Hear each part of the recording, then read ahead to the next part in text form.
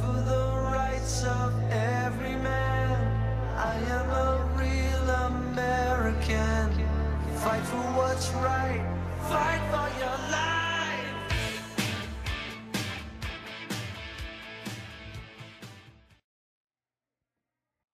As a proud Yemen American, I want to say thank you to all the veterans that served this country. Thank you for doing your job, sacrificing for our freedoms whether you agree with the fight or not. That able the world powers to do what they do in the ring.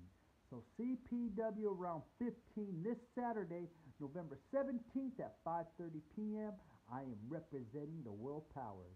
I do not care who I fight. It may be an open challenge for my UIWA F the Rules American Outlaw Championship, or I may be in a tag team.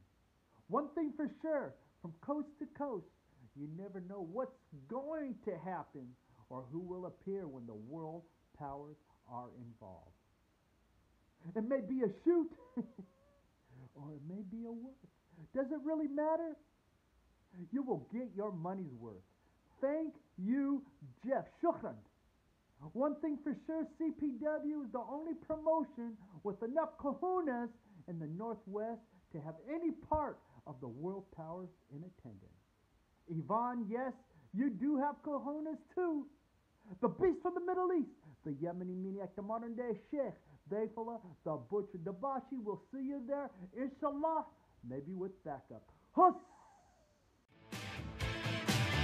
When it comes crashing down and it hurts inside, you got